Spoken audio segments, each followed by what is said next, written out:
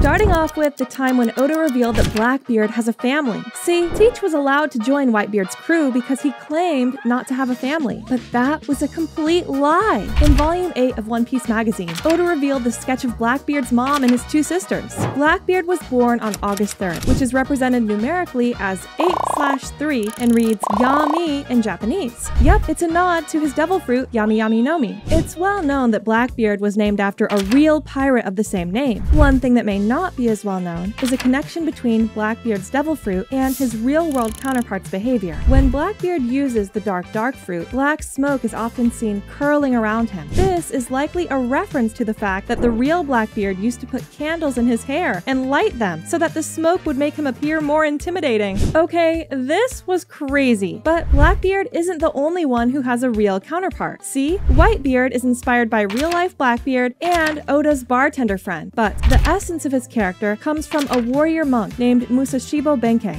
Like Benkei, Whitebeard carries a naginata, is super strong, and is far larger than the average human. Also, both Benkei and Whitebeard perished on their feet after being pelted with projectile weapons. That brings us to Whitebeard's weird pets. According to Oda in the SBS, Whitebeard has a pet dog who also has his signature mustache. It's a tiny white dog named Stefan. Whitebeard often pretends to use its mustache as a boomerang, even though he also has the same mustache. It's too bad that Stefan doesn't actually show up in the main series because it's fun to imagine what sorts of interactions the Whitebeard pirates would have with a pet. Whitebeard Pirates' first division commander, Marco the Phoenix, seems to have a strong connection with pineapples. From his hairstyle to his favorite food, Kori, which translates to phoenix pear, is an older Japanese word for pineapple, and a subtle nod to his devil fruit. The Whitebeard pirate crew is undeniably among the most renowned pirate crews in One Piece. And aside from Straw Hat's crew, most of us would have preferred to be a part of it. However, Oda's preferred crew may surprise you all, as Oda stated that if he had been stronger, he would have preferred to join the Blackbeard pirate crew over the Straw Hat crew and the Whitebeard pirates. Dang, Oda got his priorities straight, but I don't blame him. The Blackbeard pirates have some of the coolest members, and one of them is the teleporting sniper Van Augur. Van Augur is based on an Italian religious figure called Augur, who made predictions based on the behavior of birds. And guess what? Their similarities goes beyond just name. Van Augur is also religious, and in his first appearance, he shoots down seagulls in order to make predictions about them. Moving on, did you guys know that the name of one member of the Blackbeard Pirates might have caused a lot of trouble? See, in the original Funimation dub, Jesus Burgess's first name was changed to Jesus. This was done to avoid any religious association with the character. The way Funimation preserved the original pronunciation while changing the spelling is commendable. We cannot imagine One Piece without the presence of Blackbeard pirates. But what if I told you that the crew we know as the Blackbeard pirates was never meant to exist in One Piece? Yes, you heard it right. Oda revealed that he had originally planned to name Blackbeard Everything D Teach. Meanwhile, Van Augur would have been known as Van Wago, and Jesus Burgess as Lape Jesus. Vasco Shot would have been known as Basurero Shot, and he would have resembled a Viking. Katarina Devon would have been a more conventionally beautiful woman. There were also three additional members that Oda considered. A jester named King Joker, a fox-like woman called Kitsune, and a man named Last Lion. Oda decided not to continue with these characters, but he did repurpose elements of King Joker's design for Vasco Shot and gave Katarina Devon the ability to transform into a Kitsune. Well, it's sad that we didn't get to see the beautiful version of Katarina Devon, but this doesn't mean that Blackbeard pirates don't have any beauties.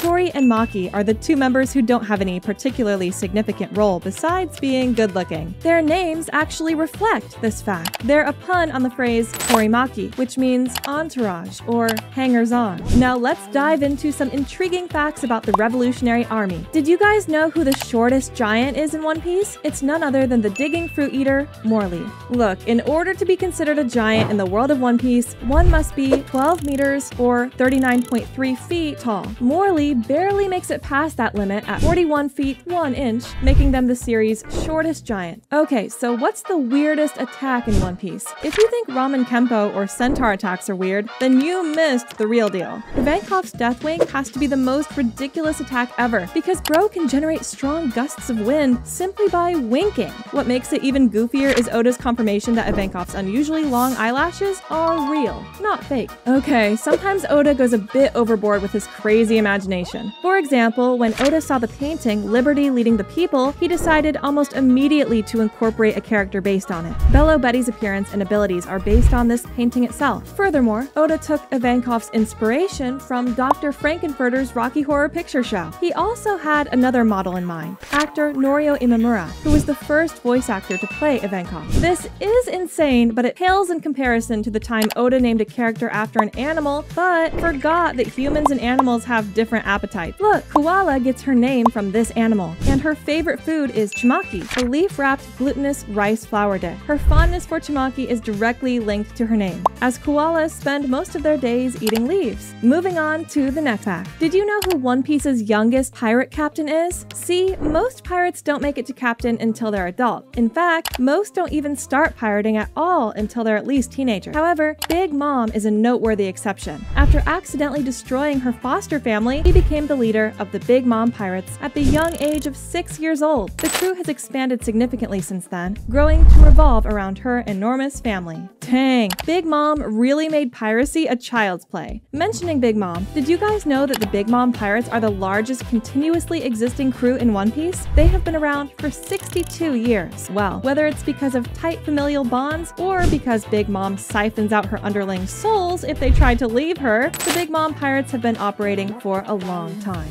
Bro, Katakuri really was proven to be a man of honor during his battle with Luffy, and you'll admire him even more when you learn about our boy's sleeping habits. Katakuri sleeps while leaning against a wall. Weird, right? He does it because he takes pride in the fact that his back never touches the ground, implying that he does not need rest or has never been knocked down by an enemy. Dang, bro is a Giga Chad for real! Have you guys ever wondered how Katakuri eats in front of people? See, Katakuri has a slit mouth, and he is very cautious about it, but that doesn't mean that he doesn't eat with other people around him. He just eats so fast that people can't even catch sight of his slit face. For this reason, he doesn't like foods that can't be consumed quickly. For example, he dislikes hot ramen because he wouldn't be able to hide his mouth while eating. From Katakuri onto Cracker. Cracker's name has a clear culinary meaning that corresponds to his devil fruit, the bisbis fruit. However, it also has another meaning that may not be as obvious. Firecrackers. His hair is made up of two long strands with sparkly appendages on the ends. This is likely to be a reference to his name's other possible meaning. God damn it, that was some sick wordplay by Oda right there. Now we have some dope facts about Wano art. For example, Oda already foreshadowed Kanjuro's potential betrayal. See, Kanjuro's brush brush fruit is connected to ink or sumi. Ink is usually black or kuro. Black ink can be read as kurozumi, his true origin. That must be evident to the Japanese-speaking people, just like the next fact. Kikunojo's name comes from Segawa Kikunojo, a guild known for men who played female roles in kabuki plays, which actually makes sense. Talking about name, Kinemon's name comes from a famous Showa-era actor named Yorozuya Kinnosuke. Now let's talk about the question that bugged many One Piece fans. But before talking about that, if you are still watching this video, that means you are liking it. Why don't you subscribe? That helps a lot.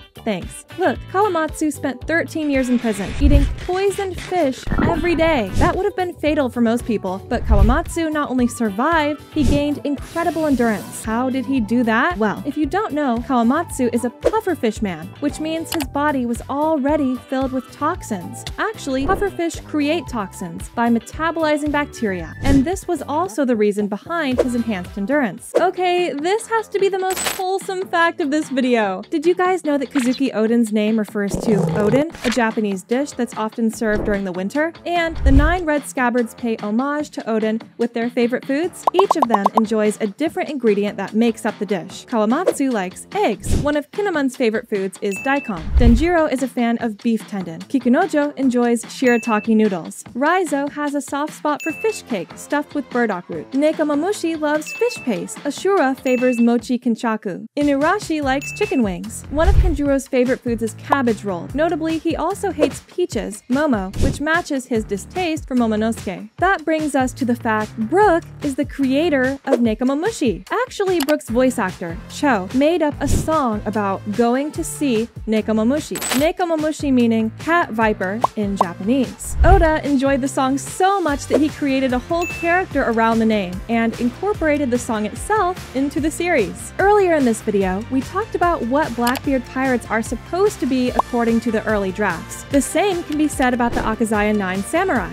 Initially, they were a group of four samurai named Kinnaman, Black Crow Raizo, Jushiro of the Mist, and Muzan of the Moon. Although Jushiro and Muzan did not survive the draft stage, Jushiro's epithet and penchant for chasing after ladies were repurposed in the final version of Raizo, and Muzan's paintbrush blade was given to Kanjuro. Another character named Hazaburo was introduced, who was likely an early version of Denjiro. After that, the group was reconfigured as the Seven Scoundrels. Many of the characters were present. Kinnaman, Kanjuro, Raizo, Ashura, called Shutenmaru, Kawamatsu, called Kawamatsu Jiu, and Denjiro. There was also a character named Tenguyama Hitetsu, who was a swordsmith who collected Kokeshi dolls. This character was eliminated from the group's final form. Bro, I can only imagine the mental tussle Oda goes through. Denjiro is one of the most interesting guys in the Akazaya Samurai. As his alter ego, Ushimitsu Kozo, he steals from the wealthy residents of the flower capital and redistributes it to the impoverished residents of Ebisu town. To many Americans, this sounds like Robin Hood. But he was based on Nezumi Kozo, a Japanese folk hero from the Edo period, who also robbed the rich to give to the poor, but was executed for his actions. Y'all must be aware of the game Among Us! When Kanjuro's betrayal was revealed in June 2021, the video game Among Us was at its height of popularity. Toei Animation promoted the episode's release with an Among Us themed tweet. In response, the official Twitter account of Among Us also tweeted, Kanjuro, why? Unless you speak Japanese and are familiar with a variety of regional Japanese accents, you may have difficulty distinguishing Ashura Doji from the other characters. His accent is typical of Kagoshima Prefecture, a prefecture on Kyushu established during the Meiji period as the country moved away from isolationism. Nobuo Tobita, his voice actor, is from Ibaraki Prefecture, which is located in Honshu's Kanto region. That's some impressive accent work. Now we would turn our attention to the Beast Pirates, beginning with a question that had been bothering me for a long time. Why didn't Black Maria's Zoan form look the way one might expect it to? Despite having consumed a literal spider devil fruit, she manages to retain her human form even while transforming, which doesn't make any sense. Well, Oda already explained that she uses a drug to make her form look more attractive, which is similar to Chopper eating Rumble Ball. Another interesting thing about Tobi Roppo is that all of them are inked except Ulti. Either she doesn't have any tattoos or it is not visible. See, gifters are people who consumed a smile and were lucky enough to actually gain Zoan type powers from it. Pleasures gained no powers but did lose the ability to swim, as well as the ability to express any emotions other than happiness. Waiters were foot soldiers who hadn't yet had the chance to try their luck with a smile. Based on the fact that there were about 20,000 total members of the Beast Pirates, 500 of them were gifters. Only about 10% of the people who eat smiles gain powers through doing so. This implies that there are probably around 4,500 pleasures and 15,000 waiters in the crew. Dang, we have to admit that the Beast Pirate crew is humongous.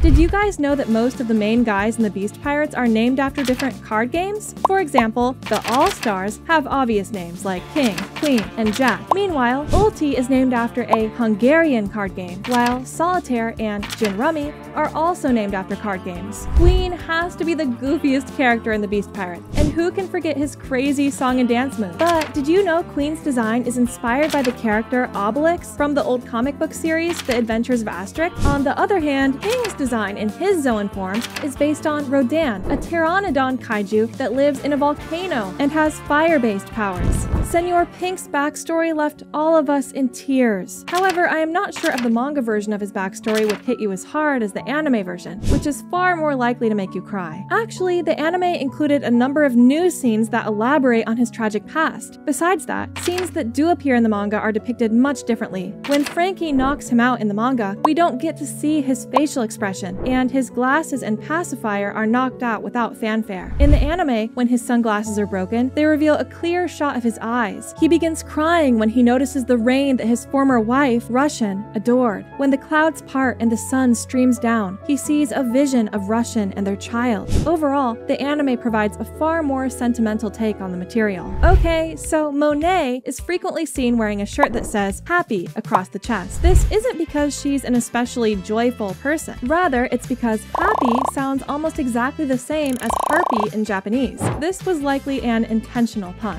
One interesting thing about the Don Quixote pirates is that they take their name from their captain's surname. This is a surprisingly rare method of naming a pirate crew. More often, the crew is named after the captain's nickname, such as the Blackbeard Pirates, or after some attribute that stands out, like the Straw Hats. The Don Quixote pirates got their name from Don Quixote, a classic comedic novel by Miguel de Cervantes, and Rocinante is actually named after the title character's notoriously overworked horse, Rocinante. This puts a new spin on the relationship between the two Don Quixote brothers. The funniest scene in Dressrosa was when we got to hear Pika's voice. Bro's voice does not match his face, and Oda confirmed that the spikes on Pika's shoulders were not attachments of some kind, but his real shoulders. Actually, he constantly wore a shoulder guard shaped like that during puberty, so his shoulders just grew that way. Let's move on to the next fact. Giolla's art art fruit allows her to transform living things into art. While she could probably use any style she wanted, she prefers one that is reminiscent of the works of famous artists such as Salvador Dali, Edvard Munch, and Pablo Picasso. Y'all must have remembered Hatchan of the Arlong Pirates. His design is charming and fun, but it was originally intended to be a lot more conventionally attractive. Specifically, he was going to be a beautiful squid fish woman. That reminds me of the fact that Don Krieg was supposed to be a cyborg. Instead, he ends up with armor and weapons that aren't part of his body. We could go on and on about how One Piece is full of such details and facts, but it also contains a small number of mistakes. Click on this video to find out.